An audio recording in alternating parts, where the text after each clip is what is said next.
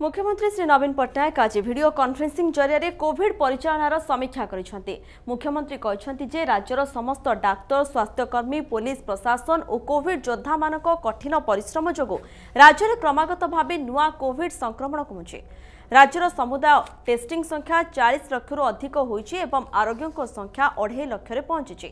ତଥାପି ଆତ୍ମସନ୍ତୋଷର ସ୍ଥାନ ନାହିଁ ବୋଲି ମୁଖ୍ୟମନ୍ତ୍ରୀ ଶ୍ରୀ ପଟ୍ଟନାୟକ ସତର୍କ କରାଇଛନ୍ତି।